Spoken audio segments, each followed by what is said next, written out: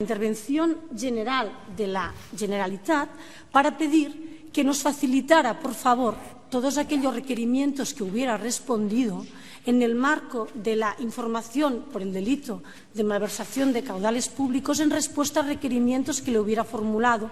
insisto, el juzgado de instrucción número 13, así como la Guardia Civil actuando como policía judicial.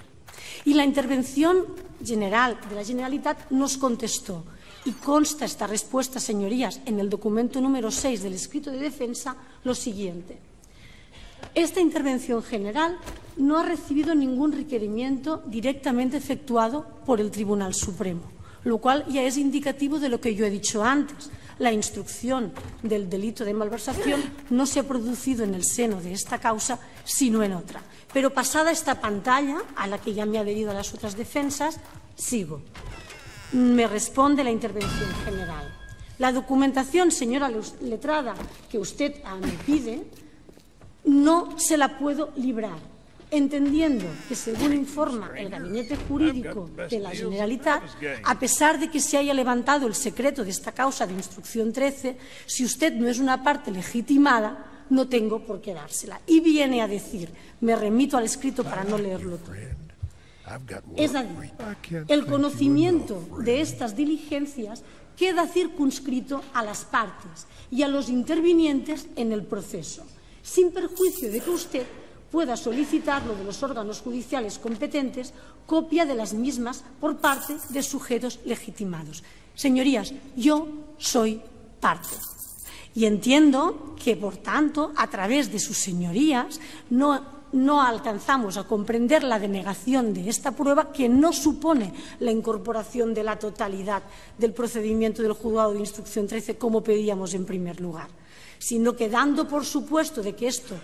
quizá no sería estimado por sus señorías, pedíamos una cosa que entendíamos muy concreta, que era, por favor, queremos copia de todos aquellos requerimientos que la intervención ha contestado en relación al delito de malversación de caudales públicos, porque desconocemos si los que están en esta causa son todos aquellos que realmente se han emitido. Por tanto, entendemos que es una prueba concreta, que es una prueba pertinente y que desde el punto de vista de la defensa de la señora Meritxell Borràs en lo que al delito de malversación se supone es necesaria. Y en el caso de que sus señorías, en este trámite de cuestiones ah, previas, no se aceptara esta reconsideración que modestamente le pide esta defensa en relación a esta prueba concreta, solicitamos que tenga por formulada respetuosa protesta. Por último, en cuanto al bloque de prueba, se aporta, ustedes me dirán si en este acto o mediante escrito o mediante presentación por Lexnet, los documentos 1, 2 y 5 que ya fueron aportados en el escrito de defensa, pero que se aportaron en catalán y que, si se acuerdan, esta parte mm, ah, se sometía al criterio de esta sala la necesidad o no de la traducción de los mismos. Mm, entre tanto, esta parte ha pedido si por favor, por quienes lo emitieron, lo podían hacer en lengua castellana y de los que he conseguido que lo hicieran en lengua castellana, si lo han hecho, se trata exactamente de los mismos documentos y entendemos que para mayor facilidad simplemente se trataría de sustituir o de añadir a esos documentos que ya constan apartados, el 1, el 2 y el 5. Y además, señorías, y acabo aquí en cuanto al bloque de prueba que esta parte pide que se reconsidere, la defensa de la señora Merichel Borràs circunscribe su prueba a cuatro testificales y a la documental que ahora mismo les,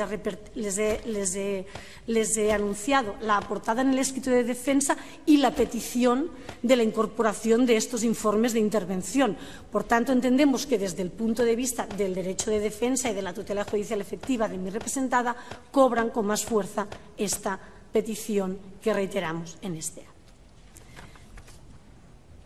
El segundo bloque de cuestión previa, ya para acabar, al amparo del 786.2 de la Ley de Enjuiciamiento Criminal, y avanzamos como a, mm, vulneración de un derecho a un procedimiento con todas las garantías, viene por una cuestión que no ha sido planteada hasta el momento. Es la siguiente. Consideramos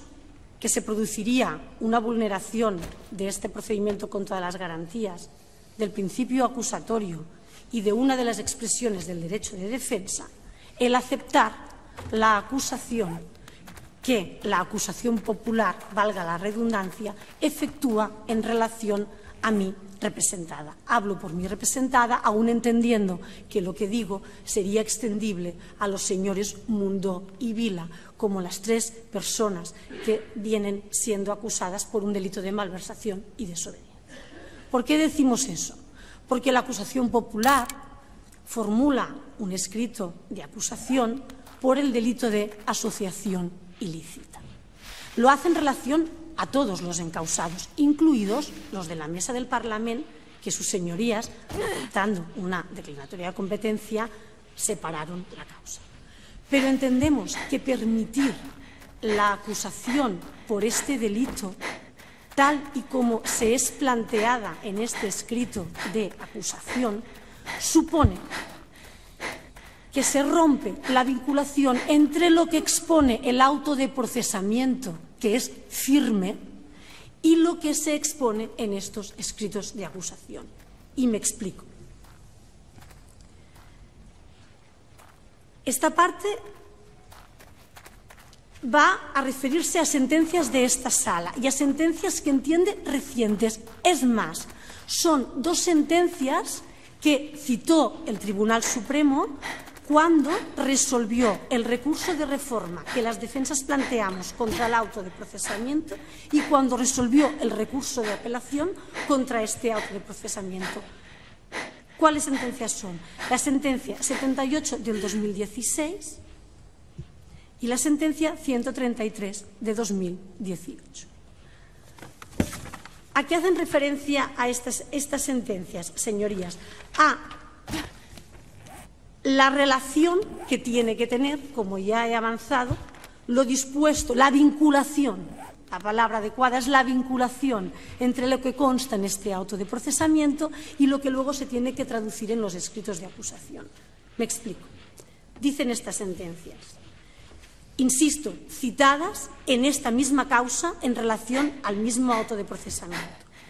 El auto de procesamiento, con todo el carácter provisional que quiere atribuírsele, no puede limitar su funcionalidad a la definición solo de quién ha de soportar la acusación.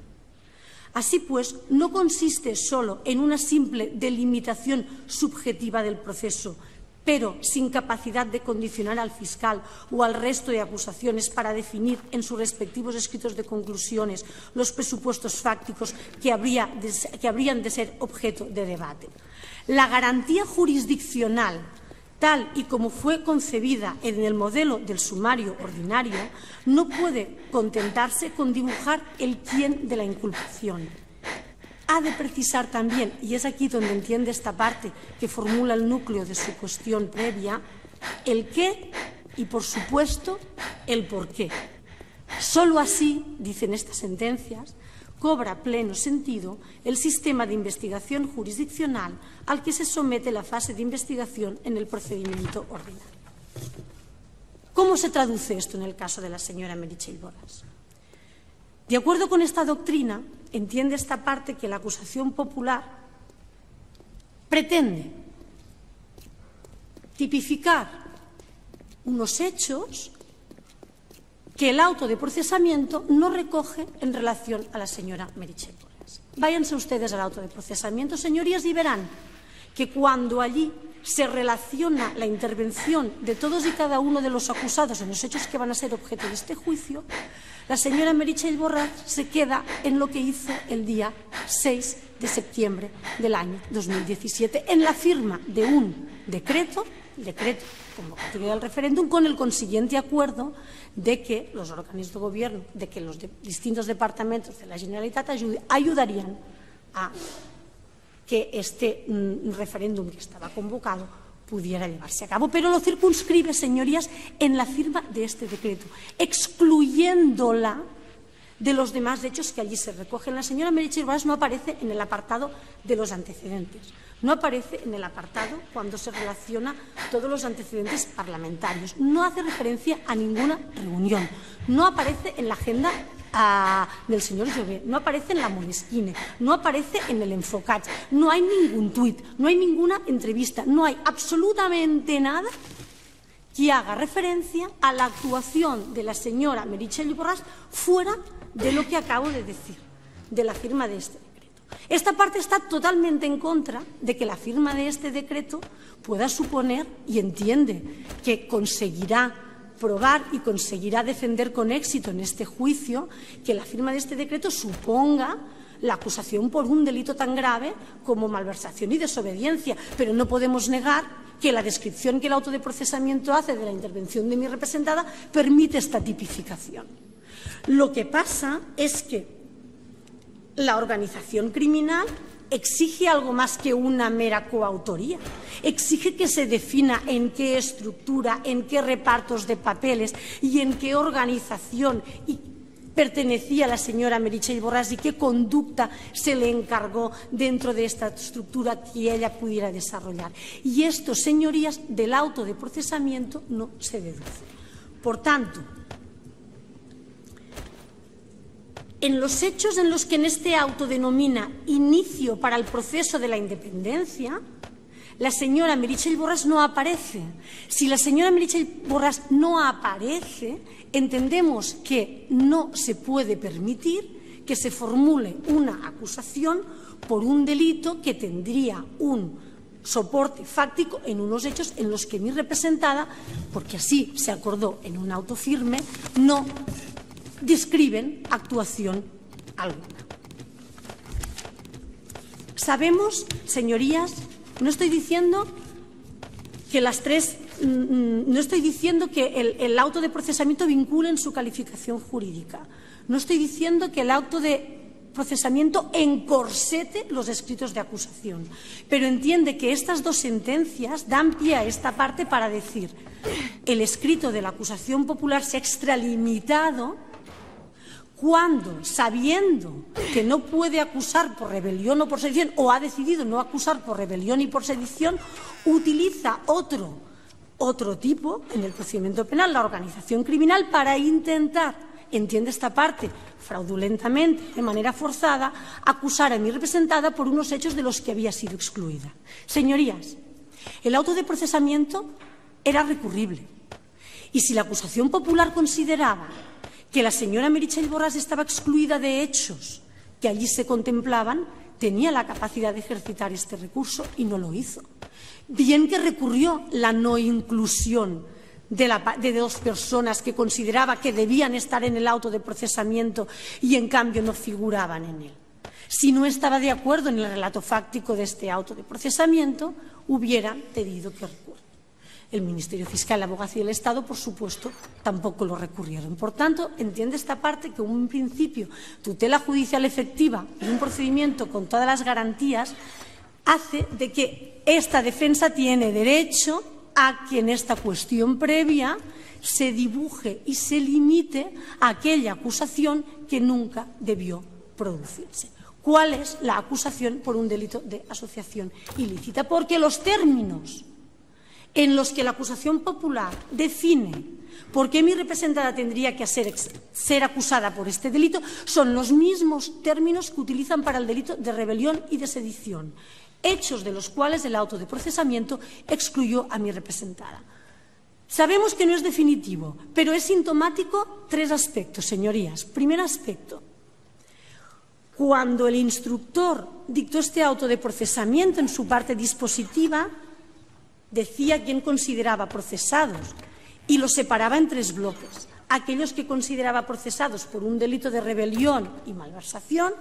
aquellos que consideraba procesados por un delito de malversación solo y aquellos que consideraba por un delito de desobediencia. Sabemos y conoce esta parte las sentencias y la doctrina de este tribunal de que la calificación jurídica que se haga no vincula, pero no deja de ser sintomático que el propio instructor, cuando dicta este auto, consciente de la descripción fáctica que hace en su parte dispositiva, traslade que esta descripción fáctica tiene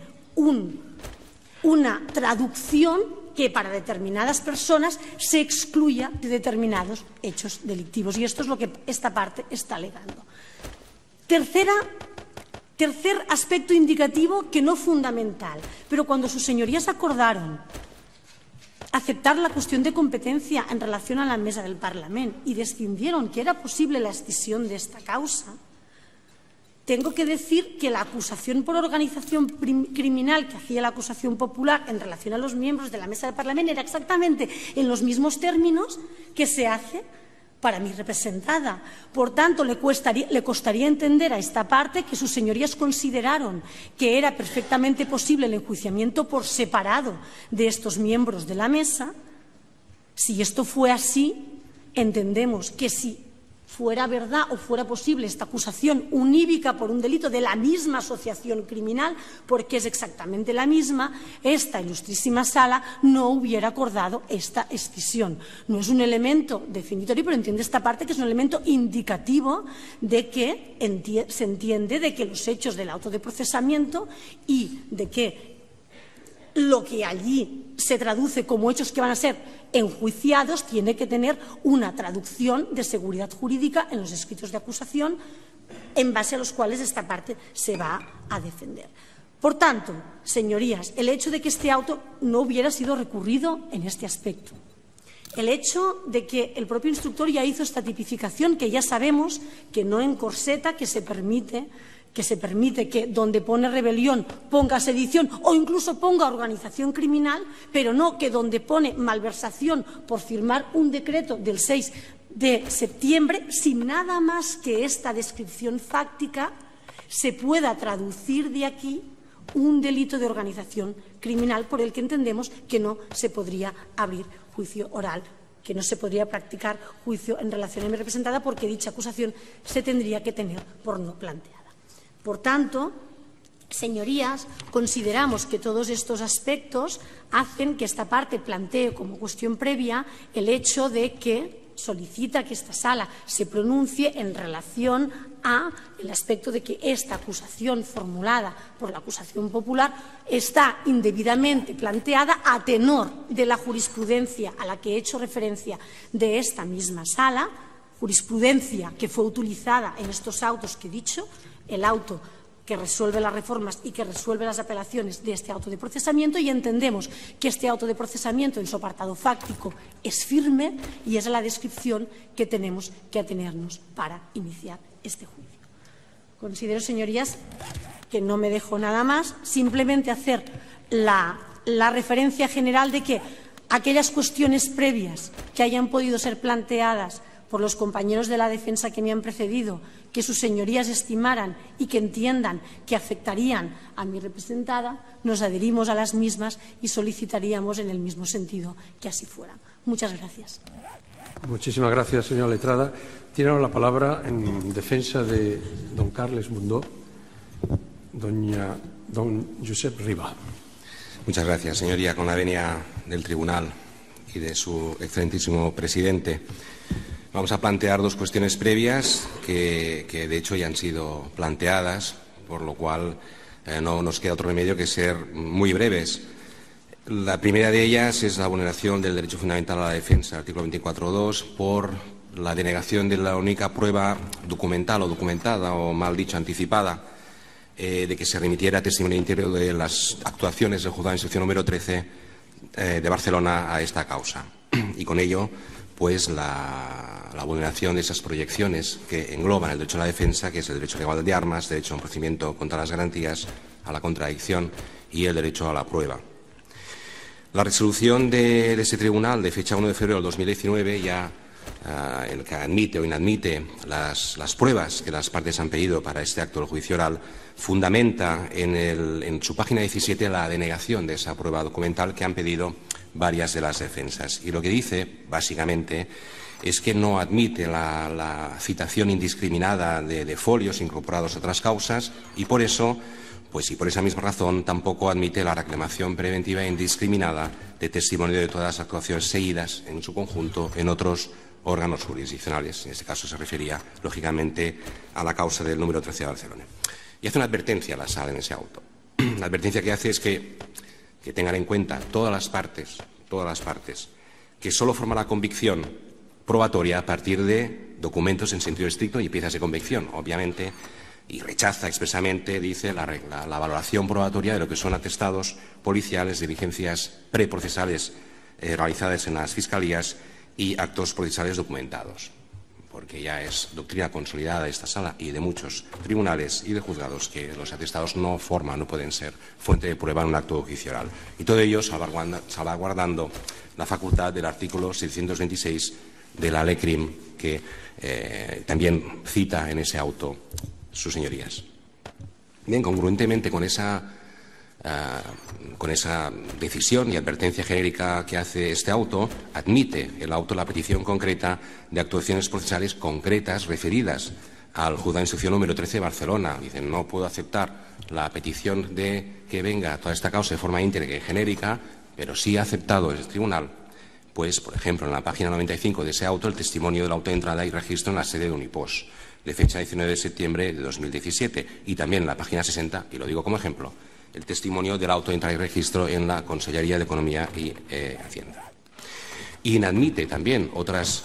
pruebas concretas, otros testimonios concretos del juzgado de instrucción número 13, pero no por el motivo de que vengan el 13, sino por otros motivos. Y en este marco de debate jurídico, en relación a esta denegación de la única prueba documentada que solicitaba esta parte junto con otras defensas, hay que tener en cuenta los siguientes argumentos que ya se han expresado con anterioridad y que vamos a citar muy rápidamente para no reiterar y no repetirnos. La primera, que mi representado y el resto de acusados han sido investigados en el juzgado de instrucción número 13 y eso es una obviedad.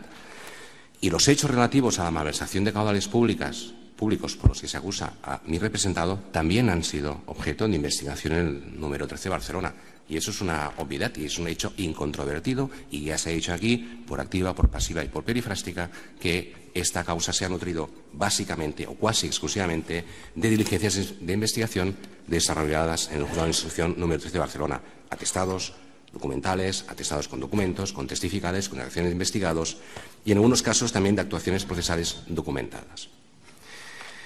Claro,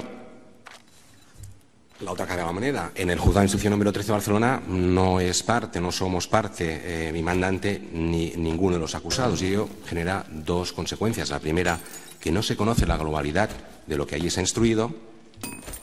salvo las incorporaciones que, ha hecho, que han hecho a esta causa de los documentos y atestados el Ministerio Fiscal, básicamente, y la abogacía del Estado. Y la segunda consecuencia, que no se ha podido intervenir en esas diligencias que se han practicado en el juzgado de instrucción número 13 de Barcelona. Durante la instrucción de esta causa especial, sí que alguna de las partes solicitó la unión de esa causa y así hay que, hay que ponerlo de manifiesto. Como ejemplo, el auto 25 de octubre de 2018 denega, deniega a una de las partes esa petición. Y claro, quien sí ha tenido, ya se ha dicho aquí, y decía mi compañero que el Ministerio Fiscal tenía esta visión global, pero no solamente el Ministerio Fiscal, también la Abogacía del Estado y también la acusación popular son parte del juzgado de instrucción número 13. Las tres acusaciones sí han tenido esta visión global del procedimiento seguido en el juzgado de instrucción número 13 y por ello han podido solicitar la incorporación de estos atestados, estos documentos, etcétera, etcétera, de estas diligencias, en definitiva, como por ejemplo, y digo solo como ejemplo, el Ministerio Fiscal solicitó la incorporación de una remisión de más de mil folios de ese juzgado de instrucción número 13 eh, y fue admitido por la providencia de 8 de mayo del 2011. Más recientemente, la abogacía del Estado, y solo como ejemplo, en su escrito de acusación acompaña un informe del juzgado que remite la administradora concursal de Unipos eh, al juzgado de instrucción número 13 de Barcelona y ni tan solo ha tenido que pedirlo a sus señorías para que pidan ese testimonio, simplemente lo han aportado, lo han acompañado